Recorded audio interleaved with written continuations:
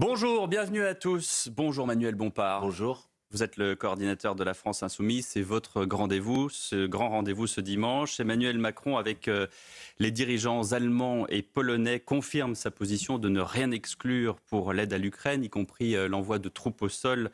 Et d'ailleurs, il confirme ce matin que tous les scénarios sont possibles. La laïcité semble euh, se fracturer encore plus avec les dérives en début de semaine à Sciences Po Paris.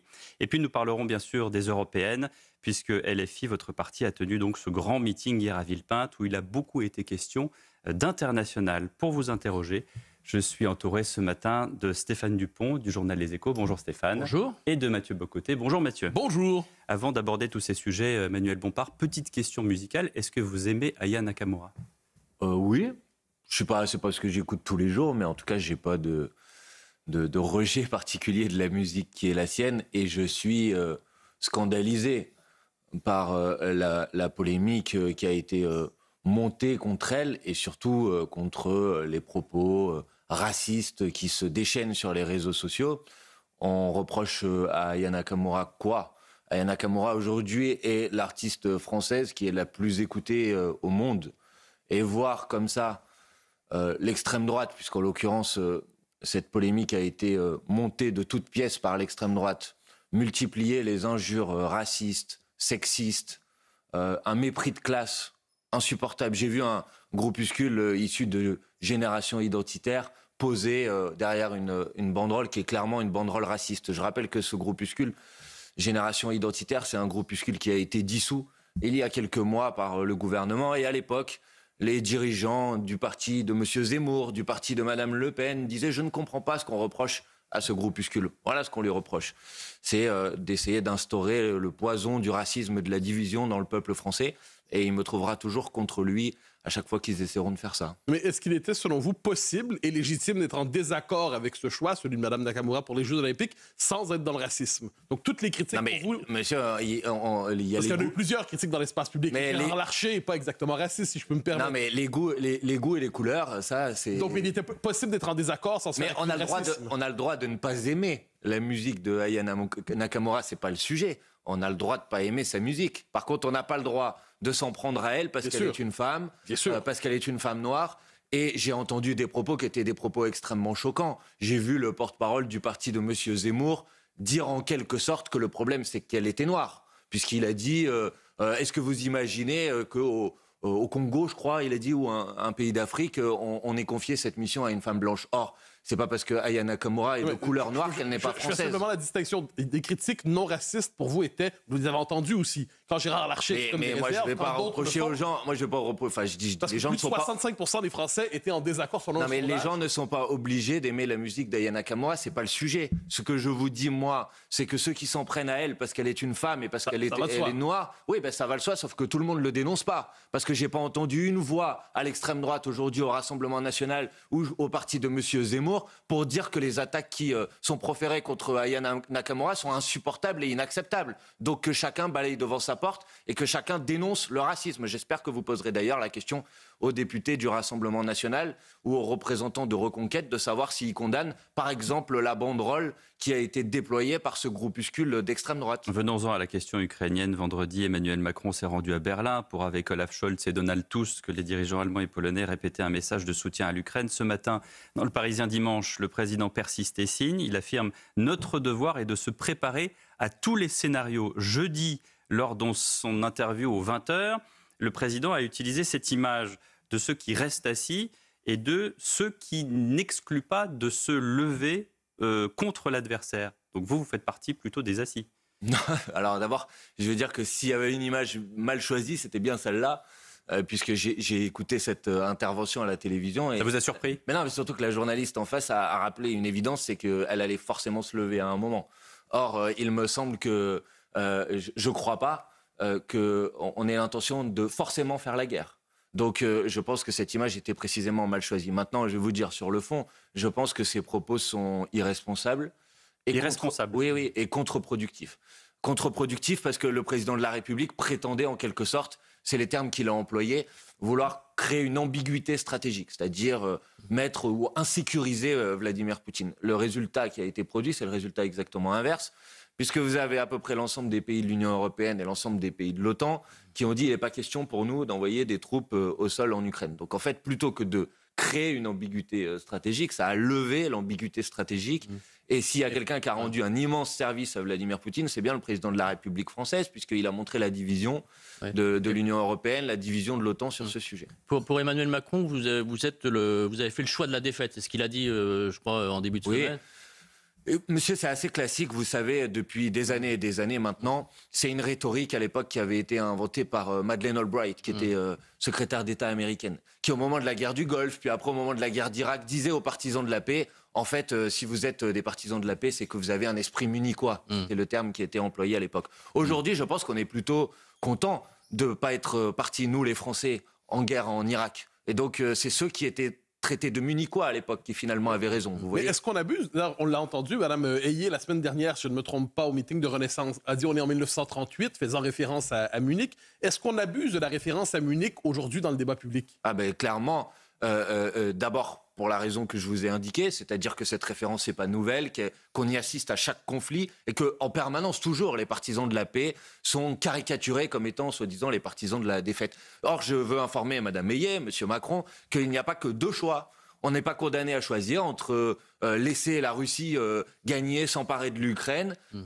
et faire la guerre nucléaire. Voilà, heureusement en fait. Et quand on est responsable, euh, on accepte qu'il y a d'autres possibilités, notamment la voie que nous défendons nous, qui est la voie de la diplomatie, qui est la voie de la négociation, qui est la voie de la médiation pour faire en sorte que ce conflit s'arrête le plus rapidement possible. Et la négociation, la, négociation, ça fait deux ans qu'elle dure. Vous avez vu où, on en est aujourd'hui Bah oui, il va bien falloir que ça s'arrête à un moment. Ah non, mais il va bien falloir rien du tout. Vous voyez bien que le ah, travail diplomatique. Non, mais moi je veux dire, le problème, si vous voulez, c'est que c'est facile. Je dis pas ça pour vous. Mais bah, moi, je suis pas un les... en guerre, hein, mais je. Non, mais quand je reprends la, phrase, tous les scénarios sont possibles. Oui, mais je, veux dire, c'est tellement facile de venir sur les plateaux de télévision. Qu'est-ce qui est à négocier Et de dire, attendez, je termine ça et après, je, vraiment, je réponds à votre question. Et de dire, oui, vous êtes des lâches, mais c'est pas ceux qui disent ça sur les plateaux de télévision qui iront au front demain. C'est tellement facile d'utiliser cet argument. Cet argument n'a pas de sens. Il faut que les gens qui nous écoutent comprennent que chaque jour de guerre supplémentaire, hmm. c'est des risques d'escalade, y compris d'escalade nucléaire. Chaque jour de guerre supplémentaire,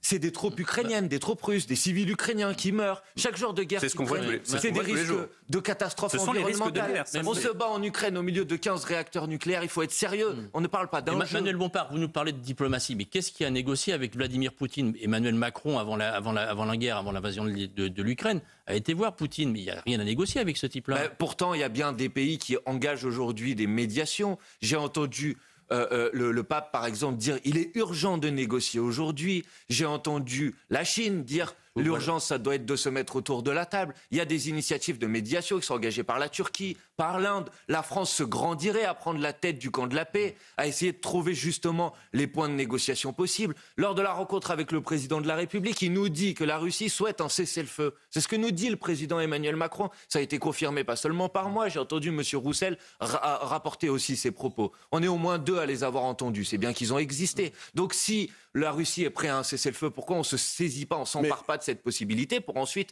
ouvrir les sujets qui doivent hmm. être discutés pour créer les conditions d'un accord de paix Lorsqu'on parle de négociation, concrètement, ça veut dire qu'on parlerait de concessions territoriales de la part de l'Ukraine. C'est ce que vous avez à l'esprit? Non, pas du tout. Moi, c'est jamais ce que j'ai dit.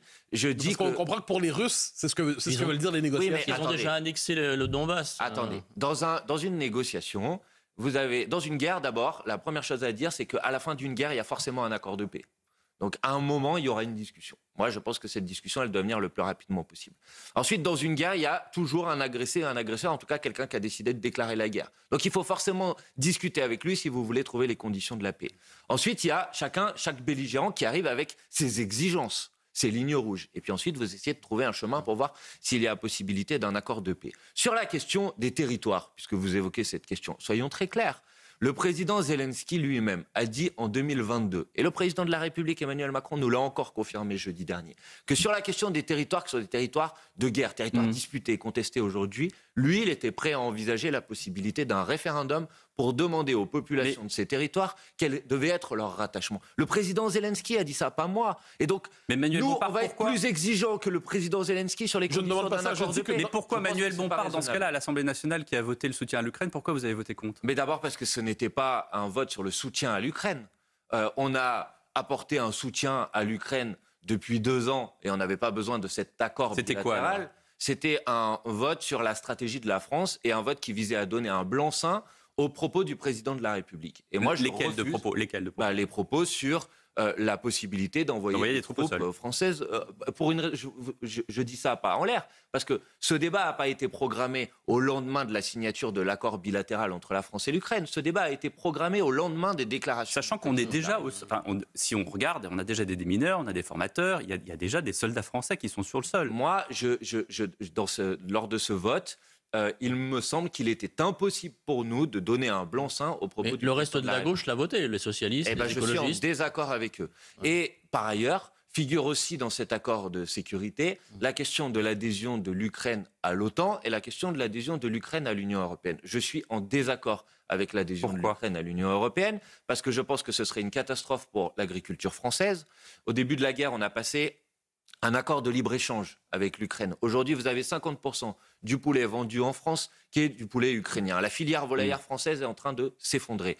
Vous allez faire rentrer dans l'Union européenne un pays dans lequel le salaire minimum est inférieur à 200 euros. Ça veut dire encore des délocalisations supplémentaires, un dumping social insupportable. Donc je suis contre. Et je m'arrête là, mais je vais vous dire que je trouve quand même extrêmement surprenant, et tout le monde devrait enregistrer cette information, que le Rassemblement national n'ait même pas eu le courage de s'opposer. Et donc, j'ai entendu comme conclusion du débat de mardi qu'aujourd'hui, le Rassemblement national ne s'oppose plus à l'entrée de l'Ukraine dans l'Union européenne ou à l'entrée de l'Ukraine dans l'OTAN. Manuel Bompard, invité du grand rendez-vous d'Europe 1, CNews, les échos, à tout de suite. Le grand rendez-vous sur Europe 1 et sur CNews avec Manuel Bompard, le coordinateur de la France Insoumise. Euh, Manuel Bompard, j'ai l'impression qu'en France, il y a deux camps sur la question ukrainienne. Ceux qui pensent, comme le président de la République, que la sécurité des Français dépend de la sécurité des Ukrainiens, et ceux qui pensent que bah, l'Ukraine, en fait, c'est assez loin, que ce n'est et ce ne sera pas dans l'Union européenne ni dans l'OTAN. C'est un peu ce que vous venez de dire. Et donc, il n'y a pas de risque immédiat pour les Français. Est-ce que c'est pas un peu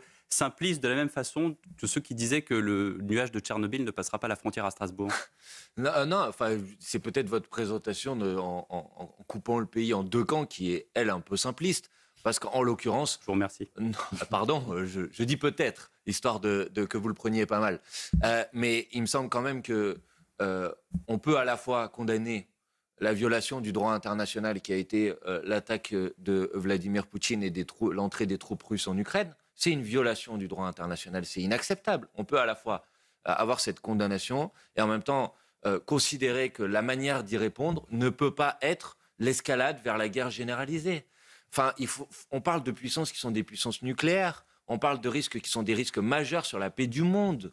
On parle de sujets sérieux. J'ai l'impression d'avoir un président de la République, euh, franchement, qui, qui, qui, qui, qui- qui joue avec cette question. C'est pas sérieux, c'est pas raisonnable. Manu- Mais alors, quand être- Vladimir Poutine dit c'est un scénario à la Armageddon, à la première euh, sortie d'Emmanuel Macron, vous prenez Vladimir Poutine au sérieux en disant que oui, il peut se passer quelque chose de très grave. Bah, je pense qu'il vaut mieux prendre Vladimir Poutine au sérieux, oui. Je pense qu'il faut le prendre au sérieux. Euh, mais encore une fois, euh, po- poser les conditions d'un accord de paix, ça ne veut pas dire céder aux exigences de Vladimir Poutine. Ça veut dire essayer d'identifier les points qui sont les Mm. points au cœur de Ouais. cette guerre et de proposer une ré- un règlement pacifique et démocratique pour, euh, pour, euh, pour les régler, tout simplement. Ce que demande euh, le président Zelensky à la France, c'est pas d'envoyer des troupes au sol, c'est des munitions. Mhm. Et est-ce que vous, vous soutenez, euh, est-ce que vous êtes pour l'envoi de plus de munitions à l'Ukraine pour se Avec défendre cet accord face- qui a été trouvé à face- Berlin d'ailleurs. ouais, hein, on à- va écoutez, construire euh, face à 2 la millions d'obus d'ici 2020. Est-ce qu'il faut envoyer plus d'armes? Mais d'abord, il faut envoyer les armes qu'on a promis qu'on allait envoyer.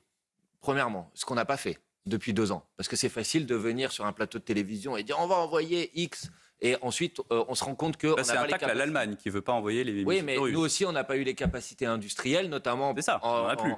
ah oui, mais ça, c'est quand même le résultat, pardon, de 30 ans de politique, d'alternance entre euh, la, la Macronie, la droite et les sociodémocrates, qui ont petit à petit démantelé l'ensemble de notre tissu industriel. Y Vous êtes en train de me dire que s'il y avait eu la France insoumise ces 30 dernières années, il y aurait suffisamment d'armes pour défendre Ah, la France ce, que je suis et en train de vous, ce que je suis en train de vous dire, c'est Comme que- par miracle. Euh, euh, pas par miracle, non, mais par décision politique. Euh, ce que je peux vous dire, c'est que nous nous sommes Vous toujours êtes des partisans de l'industrie de Oh, défense. euh, non, je suis partisan de la souveraineté industrielle de la France, ça oui. Mm. Et nous l'avons toujours été. Et ça concernait la capacité de la France à produire les armes dont elle a besoin pour mmh. pouvoir se défendre, comme par exemple la capacité de la France de pouvoir produire les médicaments dont elle a besoin pour pouvoir soigner C'est important, ça, Emmanuel Bompard, que vous précisiez que vous êtes pour une industrie de la défense en France. Mais moi, c'est pas tous les jours que quelqu'un de la France insoumise. Mais, mais, parce que vous savez, les propositions de la France insoumise sont souvent très caricaturées. Donc je suis content de pouvoir les clarifier. la France insoumise, elle considère que sa politique de défense, elle doit permettre tout simplement de défendre le territoire national. Et Avec des armes. Le territoire national, hmm. il faut être en capacité d'avoir des armes pour le faire hmm. et ne pas être dépendant d'armes qu'il faut aller acheter à d'autres pays du monde. Vous n'avez pas répondu à ma question sur l'envoi des, Donc je suis favorable, moi, j'ai toujours été favorable, et nous sommes depuis le début, à apporter du soutien, y compris du soutien euh, militaire sous forme de livraison d'armes à l'Ukraine à partir du moment où on ne franchit pas un certain nombre de lignes rouges. La première des lignes rouges, tout simplement, c'est que ça ne démunisse pas la France dans sa capacité à se défendre. Et la deuxième des lignes rouges, c'est de faire en sorte que les armes que nous livrions à l'Ukraine ne permettent pas de frapper en profondeur le sol russe. Parce que sinon, c'est un risque d'escalade et un risque de co-belligérance pour la France. Notre position, elle est constante, elle a toujours été très claire et ça reste la même aujourd'hui. Et il n'y avait pas besoin d'un accord bilatéral entre la France et l'Ukraine pour pouvoir envoyer des armes et il n'y en aurait pas eu besoin demain pour continuer à le faire. Mais vous prenez au sérieux, vous partagez l'inquiétude, par exemple, des Baltes ou des Polonais qui disent Vladimir Poutine pourrait ne pas s'arrêter en Ukraine. Est-ce que vous croyez que euh, leurs inquiétudes sont légitimes? Bah En tout cas, il faut les entendre, ces inquiétudes-là. Mais est-ce qu'on pense aujourd'hui... Les entendre et pas les écouter Mais si, bien sûr que je les écoute. Mais euh, encore une fois, il y, a quelque chose qui ne va pas dans ce débat, pas celui-là, mais dans le débat public sur cette question depuis le début. C'est en quoi poser la porter la parole de la voie diplomatique pour arrêter le conflit reviendrait à dire on va donner un blanc-seing à Vladimir Poutine Je, je, pose la question très concrètement parce bah, que autant l'Ukraine n'était pas membre de l'OTAN, autant les pays baltes sont membres de l'OTAN. Donc bien. si les pays baltes étaient agressés, et à l'échelle de l'histoire, c'est pas inimaginable que ça arrive un jour, la France serait solidaire des Baltes euh, pour vous? Mais euh, c'est, euh, il faut avoir qu'une parole. Hein. Et à partir du moment où on a aujourd'hui, on est membre d'une alliance euh, qui euh, donne une clause de solidarité, euh, je ne vais pas commencer à vous dire que la France ne devrait pas tenir sa parole. Mais moi, ce que je souhaite, c'est qu'on crée les conditions pour que justement le conflit ne s'étende pas, ne se généralise pas. Et je pense que la voie militaire, pour ça, est une impasse. je sais pas, je sais pas comment le dire, mais, vous l'avez dit, vous l'avez dit, vous l'avez dit, et vous l'avez dit hier en meeting, puisque cette question ukrainienne et d'autres questions internationales ont, ont, beaucoup été, en effet, c'est ce qu'a scandé Jean-Luc Mélenchon au meeting de Villepinte hier où c'était le début de votre campagne pour les euh, européennes. Euh, on a entendu les questions internationales. En revanche, à ma connaissance, pas un mot sur le 7 octobre, pas un mot sur les otages aux mains du Hamas, pas un mot euh, sur le fait que le Hamas est un mouvement terroriste. Euh, peut-être qu'il n'y avait pas un mot, je ne sais pas, dans le meeting. Pas, vous avez peut-être écouté les trois heures, mais c'est les, mots sur le sujet, nous les avons déjà eus, monsieur, depuis longtemps, y compris euh, dès. Vous avez abordé la question de Gaza. Il n'y a pas un mot sur le 7, octobre, pas un mot sur les otages. Oui, enfin, ce qui se passe aujourd'hui à Gaza, c'est qu'il y a eu plus de 30 000 personnes victimes, hmm. que vous avez eu en quatre mois plus d'enfants qui sont morts à Gaza que dans quatre ans dans l'ensemble des conflits dans le monde. Ce sont des chiffres euh, des agences de l'ONU. Donc c'est ça aujourd'hui l'urgence, la situation qui est sur le terrain, monsieur, sur lequel on peut agir. Quant à notre condamnation des actions du 7 octobre, elles ont été très claires depuis euh, le début. Quant à nos demandes de libération, mais si elles l'ont été, mais pas très clair non, non, pas très clair. Mais si, monsieur, elles l'ont été. Euh, et sinon, vous avez qu'à me dire à quel moment j'aurais eu des mots. Moi-même, par exemple, j'ai été invité d'un plateau de télévision, vous pourrez aller le vérifier le 9 octobre, c'est-à-dire le lundi qui a suivi le week-end dans lequel ont eu lieu les événements du 7 octobre, et on m'a demandé mon niveau, mon degré de condamnation, et j'ai dit que mon degré de condamnation était total. Donc si ça ne vous suffit pas total, je ne sais pas qu'est-ce qu'il fallait Vous avez eu un mot tout à l'heure sur l'Ukraine et la Russie, vous avez dit qu'il y a un agresseur et un agressé. C'est la même chose au Proche-Orient, il y a un agresseur et un agressé.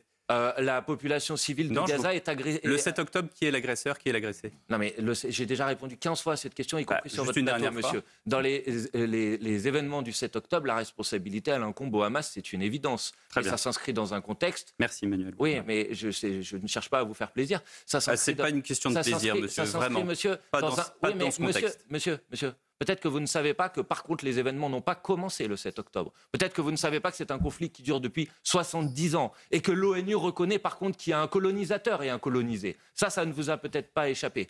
Qu'il y a un pays qui viole aujourd'hui le droit international. Qu'il y a un pays qui colonise des territoires qui, en vertu du droit international, ne devraient pas être l'objet d'une colonisation. Qu'il y a un pays qui, depuis des années et des années, soumet une population à Gaza avant les agressions à un blocus qui a été condamné à de multiples reprises par le droit international. Donc c'est un peu facile d'essayer de résumer la situation à cette question. Depuis, le, depuis les jours qu'on a fait le 7 octobre, on a cherché à nommer les événements. Et Judith Butler, la philosophe américaine que vous connaissez très probablement, des représentants de la France insoumise participaient à l'événement public où elle a prononcé des paroles dures, a dit acte terroriste, non.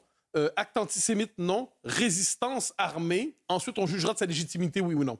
Est-ce que pour vous, le terme proposé par Judith Butler avec des, devant des membres de votre parti, résistance armée, était, était le bon? Monsieur, moi, euh, ce ne sont pas mes mots. Mes mots, ils ont été très clairs. J'ai utilisé précisément, et l'ensemble des représentants de la France insoumise, la langue du droit international, parce que c'est ça la référence, la boussole qui devrait être la nôtre. Et en matière de droit international. Ce qui s'est passé le 7 octobre correspond à des crimes de guerre et peut-être même à des crimes contre l'humanité. Ce hmm. C'est pas moi qui dois le décider, c'est la Cour pénale internationale qui peut les requalifier comme ça. De la même manière d'ailleurs que ce qui se passe depuis le 7 octobre à Gaza ça s'appelle des crimes de guerre pourra sans doute être requalifié en crimes contre l'humanité et selon la Cour internationale de justice peut-être puisqu'on a, a parlé de risque plausible de génocide. voilà les mots qu'il faut utiliser. vous reprenez bien cette évidemment, de génocide? Bien sûr.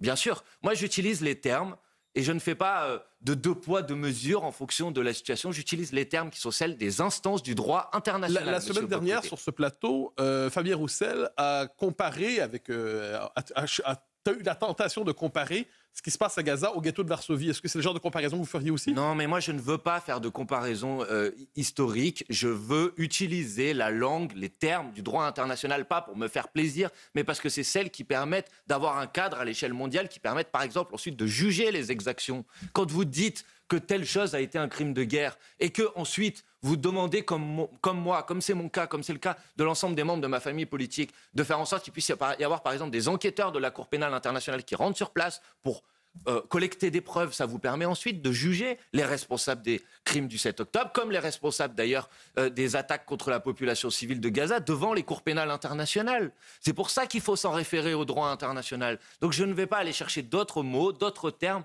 que ceux du droit international. Maintenant, on a parlé du 7 octobre. La libération des otages, monsieur, je l'ai demandé dès le premier jour. Mm. Donc vous ne pouvez pas me faire mm. ce reproche. Mm. Par contre, ce que je dis aujourd'hui, c'est que ce qui se passe à Gaza est effectivement un génocide en cours que c'est un massacre et qu'aucun massacre ne peut justifier un autre massacre. Et qu'à partir de ce moment-là, la France devrait faire bien davantage que ce qu'elle fait aujourd'hui. Et que dans la campagne des élections européennes, oui, il va y avoir un enjeu d'envoyer au Parlement européen des parlementaires européens qui vont défendre le cessez-le-feu, qui vont défendre des sanctions contre le gouvernement israélien, qui vont défendre la suspension de l'accord d'association entre l'Union européenne et Israël, qui vont défendre un embargo sur les armes. La France ne peut pas être complice de ce qui se passe aujourd'hui à Gaza. Voilà ce que tout le monde devrait entendre. Et observe là aussi qu'après nous avoir beaucoup attaqué petit à petit, c'est autour de nos positions que tout le monde se regroupe et se rassemble, à part les derniers, comme par exemple l'extrême droite, toujours incapable d'appeler à un cessez-le-feu face à ce qui se passe à Gaza. Manuel Bompard, coordinateur de la France Insoumise, et notre invité ce dimanche, à tout de suite sur Europe 1 et sur CNews.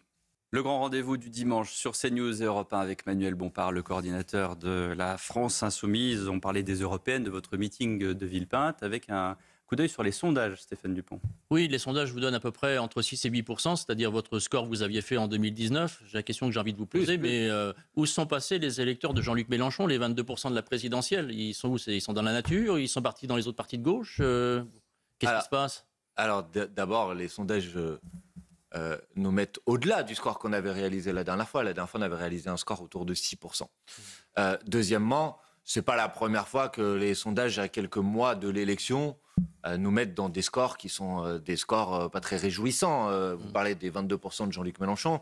Vous m'auriez invité sur ce plateau quatre mois avant la dernière élection présidentielle. Vous m'auriez demandé, mm. puisque Jean-Luc Mélenchon était annoncé à 8 ou 9%, peut-être vous m'auriez posé la question où étaient passés les 19% de Jean-Luc Mélenchon en 2017. Vous mm. voyez?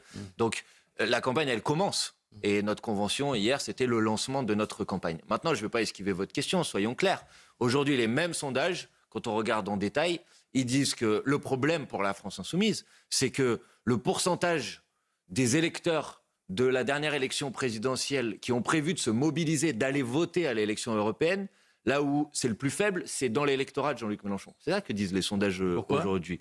Ben parce que c'est notre travail maintenant d'essayer de convaincre de la nécessité, de l'intérêt de se mobiliser à l'occasion de cette élection. Et aujourd'hui, c'est le travail qui est devant nous, parce qu'effectivement, il y a des gens qui pensent que l'élection européenne, ça ne sert à rien, que ça ne va pas régler nos problèmes. Et moi, le message que je passe à tout le monde... Vous ne parlez pas d'Europe non plus, donc... Euh, mais, si vous avez des questions sur l'Europe, monsieur, je pourrais y répondre. Euh, notre tête de liste, Manon Aubry, a été la plus jeune présidente de groupe au Parlement européen. Vous inquiétez pas, elle peut vous dire sur l'ensemble des sujets européens quels sont nos votes, quels sont les combats que nous menons. Je n'ai pas de problème sur ce sujet. Mais moi, ce que je dis aux gens, c'est que si vous ne vous mobilisez pas, si vous ne vous déplacez pas le 9 juin prochain à l'occasion des élections euh, européennes, alors après, vous allez laisser en quelque sorte aux macronistes et à l'extrême droite la possibilité de dominer le tableau. Mmh. Et que, au contraire, si vous voulez préparer l'après-Macron, montrer qu'il y a une alternative à l'extrême droite, eh ben, vous avez intérêt de donner un maximum de force à la liste de la France Insoumise. Mais peut-être faut-il amender un peu votre propos. L'électorat de gauche va se mobiliser aux européennes, mais il va se mobiliser pour plusieurs listes de gauche. Il y a les écolos,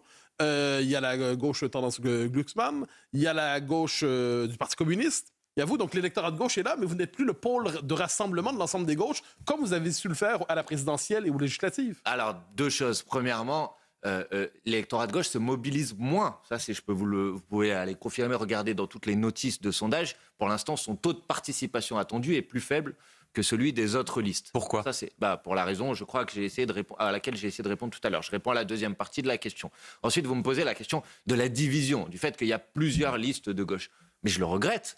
Et au moins vous reconnaîtrez, puisqu'on en a déjà parlé sur ce plateau, qu'en ce qui me concerne, depuis 2022, moi, Jean-Luc Mélenchon, les responsables, les députés de la France Insoumise, tous, nous avons dit depuis 2022, nous voulons une liste commune de la NUPES pour les prochaines élections Vous êtes d'accord sur rien avec les autres partis de gauche sur l'Europe sur Monsieur, on a présenté des candidats ensemble dans l'ensemble des circonscriptions du pays aux élections législatives qui ont eu lieu il y a deux ans. c'est un accord qui était inédit. Ça ne s'est jamais produit. Même à l'époque du Front populaire, il n'y avait pas de, candidature commune. C'était peut-être davantage l'exception que la norme. Eh bien oui, mais on avait réussi à le faire. Donc on avait réussi à trouver les points d'accord.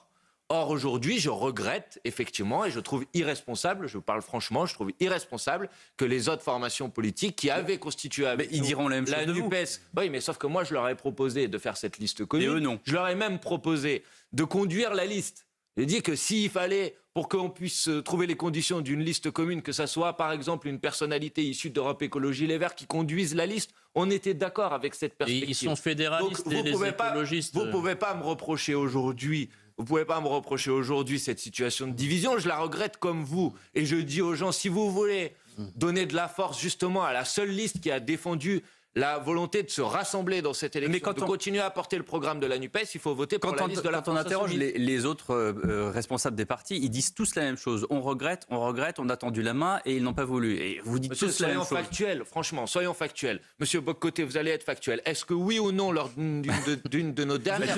Mathieu, soyons factuels. Le porte-parole de la gauche. Je dis vous parce qu'on a été sur ce plateau ensemble il y a peut-être six mois. Et à l'époque, vous m'avez posé la question sur les élections européennes et je vous ai dit, je suis favorable à une liste commune de la NUPES et je propose même que la tête de liste puisse être portée par quelqu'un d'une autre formation politique. Ça, c'est des faits, c'est pas des interprétations. on va être est-ce que c'est vrai ou est-ce que c'est pas vrai On va être intégralement factuel. Les autres listes disent, nous aurions voulu la possibilité d'une liste commune, mais nous avons de tels désaccords avec la France insoumise que la liste commune n'est pas possible. Donc c'est eux qui l'ont refusé. Ce que je constate, tout le monde a le goût de s'unir, mais personne n'est prêt à faire des sacrifices nécessaires pour la chose. Franchement, là, vous n'êtes pas honnête, monsieur Bac ah, J'ai plutôt l'impression de C'est pas une question d'honnêteté on restitue, on restitue ce que disent les responsables politiques. Parce que, en l'occurrence. En quel moment je suis malhonnête Est-ce que chacun a dit d'accord pour l'union, mais pas à ses conditions Non, non, c'est pas vrai. Les, J'ai fait la proposition dès juillet 2022 de constituer une liste commune de la NUPES. Les écologistes ont dit nous ne voulons pas de liste commune de la NUPES aux élections européennes. puis ensuite. À cause de, puis ensuite, rupture de, ah, Donc ils ont dit nous ne voulons pas. Puis ensuite le Parti oui, mais communiste. Ils ont un argument. Puis ensuite le Parti communiste a dit nous allons lancer notre campagne tout seul et nous allons présenter notre propre liste. Et enfin, les socialistes, au mois de septembre dernier, ont dit nous allons présenter notre propre liste. Pour vous, c'est de l'égoïsme partisan Non, c'est de l'irresponsabilité. Quand on est dans une situation tellement critique, quand on voit le pays dans un, un, moment si critique de son histoire, quand on voit le macronisme en train de petit à petit perdre du terrain, quand on voit l'extrême droite qui apparaît aujourd'hui comme étant la seule alternative, c'est irresponsable pas plus de parler de la concurrence. si on avait une liste commune aujourd'hui, on serait en train de talonner l'extrême droite et on pourrait la battre aux élections européennes. Manuel Bompard, le RN et Reconquête place l'immigration en Europe comme le sujet numéro un de ces européennes. Est-ce un sujet pour LFI et, autrement dit, euh, comment est-ce que LFI compte régler le problème du contrôle aux frontières? Alors, mais c'est bien sûr un sujet, tous les sujets sont des sujets. Maintenant, il faut aussi dire que quand on interroge aujourd'hui les Français sur quelles sont leurs priorités, leurs préoccupations premières, c'est pas la question de l'immigration qui arrive en premier. Ça ne veut pas dire que c'est pas un sujet. C'est plutôt la question de la santé. C'est plutôt la question du pouvoir d'achat. La sécurité. Et on a, euh, d'abord, généralement, d'abord la santé, d'abord la sécurité du pouvoir d'achat et les questions de sécurité, d'immigration, c'est des sujets, bien évidemment. Bon, ça, c'est la première chose que je voulais dire. Deuxièmement, oui, au niveau européen, il y a un certain nombre de discussions, de débats et de prérogatives liées à la question de l'immigration. Je conteste et je rejette le pacte asile et immigration qui a été négocié, qui est soutenu aujourd'hui au niveau européen par le groupe social-démocrate de M. Glucksmann, par le groupe centriste de Mme Ayé, par le groupe de droite de M. Bellamy, qui tous se sont mis d'accord pour adopter ce pacte asile et immigration, qui prévoit par exemple et vous nous la possibilité vous, vous d'aller sous-traiter la gestion des migrants à des pays dans lesquels on ne respecte aucun des droits et des libertés fondamentales comme la Libye. Je trouve ça scandaleux et stupéfiant. Pour notre part, notre proposition, elle est très claire. Il faut s'attaquer aux causes des migrations. Et l'Union européenne a une responsabilité sur les causes des migrations. Il faut arrêter d'agiter ce fantasme. Parce qu'aujourd'hui, l'essentiel des migrations se font entre les pays du Sud. Et ensuite, oui, la France, l'Europe doit prendre sa part, doit assumer son devoir d'humanité. Je le dis franchement, Mais la, je l'assume. La question européenne se pose autrement. La question européenne se pose autrement aussi dans, dans le cadre de cette élection. Plusieurs, à gauche comme à droite d'ailleurs, considère que la Commission européenne a trop de pouvoirs, qu'il faudrait ramener des pouvoirs au niveau national. Est-ce l'avis de la France insoumise aujourd'hui? Est-ce qu'il y a un abus de pouvoir de la Commission européenne? Mais c'est surtout que ce qu'elle fait. Non, non, non. Est-ce qu'en tant que la Commission européenne a trop de pouvoir? Mais non, mais qu'on ait une politique qui soit, euh, à partir du moment où on a une liberté de circulation entre les différents pays de l'espace euh, Schengen, à partir du moment où donc, euh, à partir de ce moment-là, forcément, la question de comment on rentre sur le territoire de l'espace Schengen ou comment on en sort devient une question qu'il faut aborder en commun. Sinon, ça n'a pas de sens. Ou alors, il faut aller au bout de la logique, et c'est ce que certains mm. proposent, c'est pas mon cas. Il faut euh, sortir de l'espace Schengen, sortir de l'Union européenne, etc. Et pas tout, tout seul. Ben, à partir du moment où vous êtes sur un, espace dans lequel il y a une libre circulation des personnes, il est mm. normal quand même mm. de poser les questions de manière. Vous l'avez dit un peu vite, vous avez dit sortir de l'Union européenne, vous voulez pas sortir de l'Union européenne Non, justement, ce que je vous dis, ce n'est pas la position qui est la mienne. Maintenant, je, donc, donc, je réponds à votre, à votre euh, question. Il y a aujourd'hui un certain nombre de compétences au niveau européen sur cette question. Et aujourd'hui, la manière avec laquelle cette question est prise en compte et prise en charge me paraît être hmm. très mauvaise à combattre. Et vous, la et vous dites, avec le soutien des sociodémocrates et de M. Glucksmann, avec qui vous voulez vous allier, mais on n'y comprend plus rien. Ben, parce qu'ils auraient pu décider de rompre, non? Ah oui, mais comment, voulez faire, comment voulez-vous faire une liste commune avec ces gens-là? Non, mais attendez, attendez, attendez. C'est à eux qu'il faut poser la question. Est-ce que euh, vous poserez peut-être la question de savoir si M. Glixman a l'intention de soutenir euh, le renouvellement de la commission de Mme von der Leyen? Mais en tout cas, moi non. Voilà. Et les députés européens insoumis, je peux vous dire qu'ils voteront contre le renouvellement de la commission von der Leyen. Maintenant, posez la question aux socialistes. je, je, soulignais juste la contradiction entre ce que vous dites et, l'alliance que vous voulez faire avec ces gens-là pour euh, des raisons électorales. Il n'y a aucune contradiction, monsieur. J'ai proposé une candidature commune autour du programme de la NUPES. J'observe que le Parti socialiste non seulement ne l'a pas voulu, mais a mis à la tête de sa liste une personne qui, depuis le début, a combattu la NUPES. Et je dis qu'au niveau européen, la question qui va être posée, c'est est-ce que les socialistes français décident de continuer, comme les sociodémocrates européens, à soutenir la politique de la Commission européenne, c'est-à-dire le soutien aux accords de libre-échange, c'est-à-dire le soutien au marché européen de mm. l'électricité qui est responsable de l'augmentation des factures d'électricité, c'est-à-dire le soutien au pacte asile et immigration, c'est-à-dire le soutien à cette politique agricole commune. C'est eux qui doivent répondre à ces questions. Bah Parce qu'on ne peut pas à la fois venir sur les plateaux de télévision, télévision en France et dire moi je suis contre les accords de libre-échange, moi je suis contre la politique agricole commune telle qu'elle est aujourd'hui, et puis ensuite quand on est amené à voter ou à siéger au Parlement européen, siéger dans un groupe qui fait précisément l'inverse. Convenons qu'avec de tels désaccords, il aurait été difficile de vous unir pour les européennes. Mais non, je ne dis pas ça, je dis que s'ils avaient fait le choix de rompre... S'ils n'avaient pas été eux-mêmes et que vous aviez été autres, vous auriez pu vous marier. Oui, mais je veux dire, attendez, euh, euh mais ça n'est pas le cas. Mathieu Boccoté, quand on a fait la NUPES, euh, aux élections législatives, c'était bien une rupture pour le Parti socialiste avec les années Hollande. Hmm. Vous en êtes d'accord Bon, bah donc je dis la même chose. Pour faire cette liste commune, clairement, ça a nécessité que les socialistes rompent avec la co-gestion dans laquelle ils sont engagés aujourd'hui. C'était à eux de prendre sur eux et pas européenne. Voilà. C'est ça. Pour vous marier, vous auriez dû. Enfin, monsieur, Il n'y a pas de scénario idéal. Non, mais c'est pas qu'il n'y a pas de scénario idéal, c'est que moi je combats, je conteste la politique qui est mise en place par la Commission européenne de Mme von der Leyen. Je vais On pas vous dire qu'on va faire On l'a entendu, Manuel derrière sa politique. Attendez, je dis une dernière chose, monsieur, sur la question de, la loi asile et de la, de, des questions euh, migratoires, puisque vous m'avez posé une question sur ce sujet. Je veux dire, parce que ça aurait dû indigner tout le monde, secondes. que le Rassemblement national a recruté sur, sur sa liste l'ancien responsable de Frontex, qui a été forcée de démissionner, notamment parce que Frontex a été pointé du doigt, parce que les pratiques qu'elle utilisait étaient des pratiques contraires au droit international et aux conventions de Genève. Le candidat qui est sur la liste du Rassemblement national aujourd'hui est responsable de pratiques de refoulement en mer qui sont condamnées par le droit international. Ça devrait quand même interpeller un certain nombre de gens dans ce pays. Manuel Bompard, le coordinateur de la France Insoumise, est avec nous au grand rendez-vous d'Europe 1 et de CNews. A tout de suite. Dernière partie du grand rendez-vous sur Europe 1 et sur CNews avec Manuel Bompard, le coordinateur de la France Insoumise. Retour sur les événements qui sont déroulés en début de semaine à Sciences Po Paris. Jean-Luc Mélenchon a parlé d'un incident dérisoire, insignifiant. Sylvie Rotaillot, ce matin dans le journal du dimanche, dit que c'est Jean-Luc Mélenchon qui se discrédite. Le gouvernement saisit la justice. Et vous, Emmanuel Bompard? Ah, Je pense que c'est le gouvernement qui euh, se discrédite et qui a fait quelque chose qui est insupportable.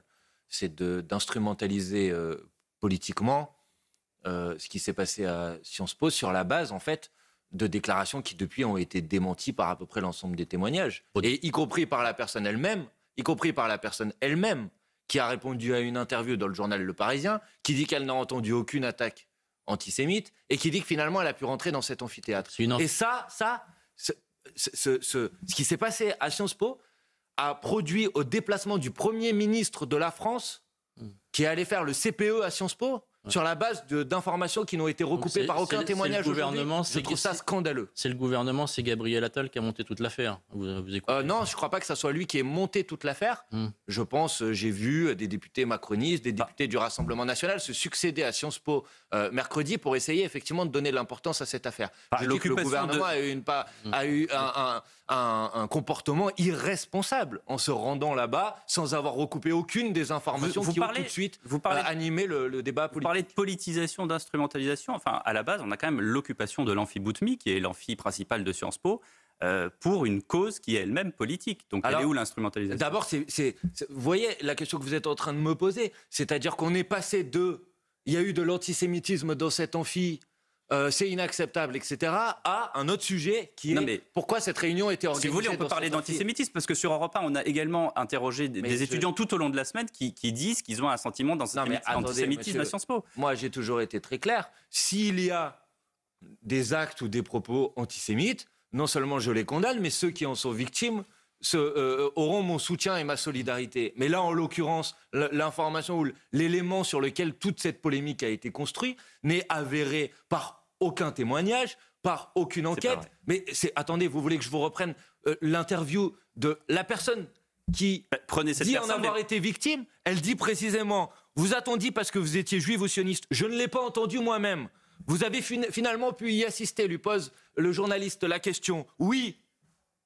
Donc de quoi parle-t-on? bah, De quoi parle-t-on? Et sur cette base-là, vous êtes allé salir vous, le gouvernement, les médias, vous êtes allés salir les, étudiants de Sciences Po en disant que c'était en quelque sorte un, ramassis d'antisémites parce qu'en fait, vous leur reprochez de s'engager en solidarité avec la population palestinienne. Je vous dis qu'on a interrogé eh ben, des gens sur Europe 1 toute la eh ben, semaine qui ont parlé d'antisémitisme à Sciences Po. Ce sont des faits, nous ne sommes pas allés salir, nous faisons notre travail, Monsieur Bompard. Non, vous n'avez pas fait votre travail ah, parce que si vous aviez fait votre travail, vous auriez cherché à recouper cette information, comme l'a fait par exemple le journal Le Parisien, et je vous ai lu à cet instant l'extrait de l'interview qui a été donné. Maintenant, je vais vous dire, moi, je salue l'engagement des étudiants de Sciences Po et je pense que c'est leur dignité et leur honneur de ne pas rester silencieux, de ne pas rester silencieux face au massacre inacceptable et insupportable de qui se passe aujourd'hui à Gaza. Est-ce qu'on peut, peut distinguer la chose sans lancer l'accusation générale? Je vous dis simplement, il y a la privatisation de manière forcée d'un amphi qu'on décide de présenter autrement, l'amphi euh, Gaza désormais plutôt que Boutmi. Est-ce que pour vous, il n'y a pas un problème que les gens se permettent, quelle que soit la cause, de s'emparer ainsi d'un bien public et de le marquer idéologiquement? Mais, mais M. Bocoté, à Sciences Po, ce sont en particulier des étudiants qui réfléchissent aux questions du droit international. Heureusement qu'ils décident de discuter de ce qui se passe aujourd'hui. Oui, mais s'emparer d'un amphi comme mais ça. Ils ne se sont pas emparés de l'amphi puisque tout le monde pouvait rentrer.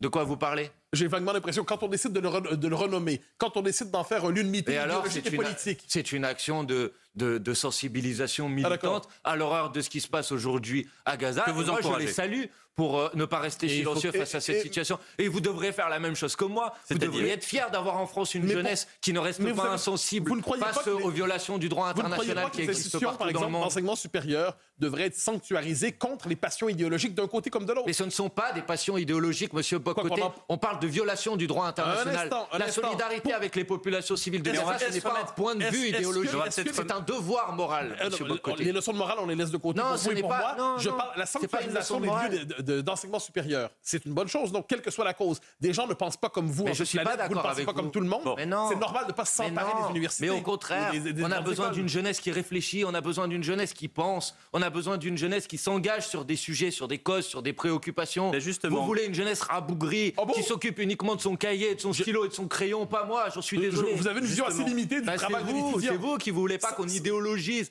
Il y a des points de vue, et puis demain, il y aura peut-être une initiative, et il y en a eu d'ailleurs, si j'ai entendu les, de les, étudiants de Sciences Po, il y a eu des initiatives après le 7 octobre, et c'était très bien qu'elles aient lieu. Et puis il peut y avoir des initiatives sur telle ou telle cause mondiale, et c'est très bien qu'elles aient lieu. Parlons de point de vue, puisque c'est invité au débat Rima Hassan, cette euh, militante qui légitime l'action du Hamas, qui parle d'Israël comme d'une entité coloniale fasciste, qui parle d'Israël comme une entité coloniale fasciste et qui figure en septième position sur la liste de la France insoumise. Je, trouve ça. Non à quoi? Je trouve ça vraiment mais insupportable.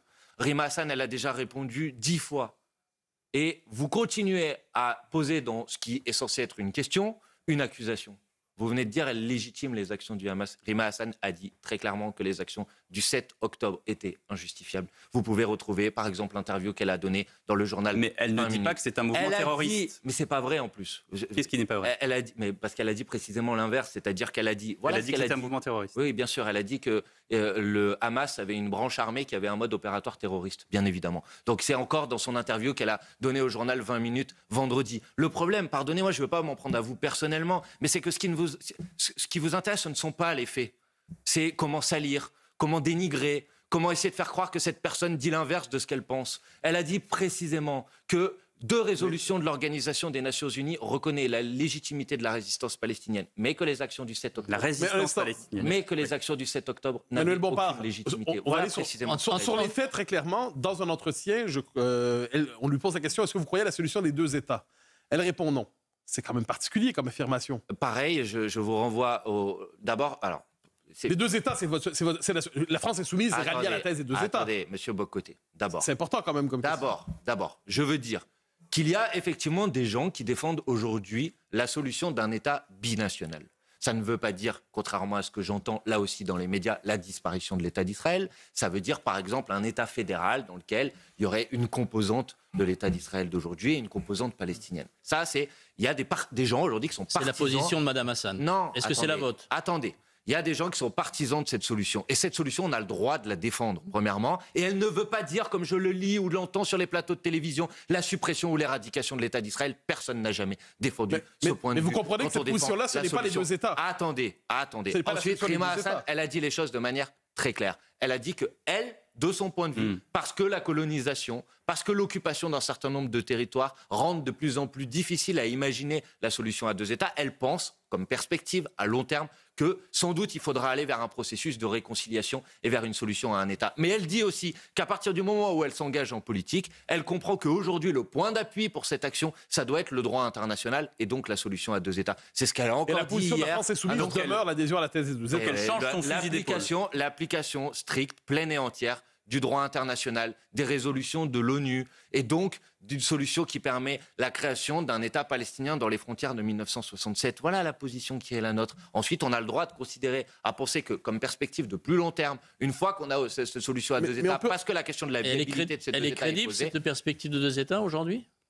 Bah, c'est la question, est-ce qui fait qu'un certain nombre de gens se disent est-ce qu'il ne faut pas aller vers la solution à un État? Et elle sera encore moins crédible si on continue à laisser faire, comme on le fait aujourd'hui, la colonisation des territoires qui sont des territoires palestiniens. Donc il faut arrêter Netanyahou pour qu'il arrête de coloniser, parce que plus vous colonisez, plus la solution à deux États, elle devient difficile à obtenir. Donc arrêtez, s'il vous plaît, juste une chose. On a le droit d'avoir des débats, il n'y a pas de problème. On peut ne pas être d'accord. Mais arrêtez d'attribuer aux gens des positions qui ne sont pas les leurs. Non, Rima Hassan n'est pas pour la suppression de l'État d'Israël. Non, Rima Hassan n'est pas une partisane ou un soutien du Hamas, c'est précisément l'inverse aujourd'hui. Non, Rima Hassan n'est pas pour empêcher les Israéliens de pouvoir vivre en paix et en sécurité. Elle dit précisément l'inverse, qu'elle veut une solution politique pour que les Palestiniens et les Israéliens puissent vivre en paix et en sécurité. Donc, ça fait quatre fois en fait que je clarifie ce sujet. J'espère que ça sera la dernière fois aujourd'hui. Merci Manuel Bompard. Bonne journée à vous.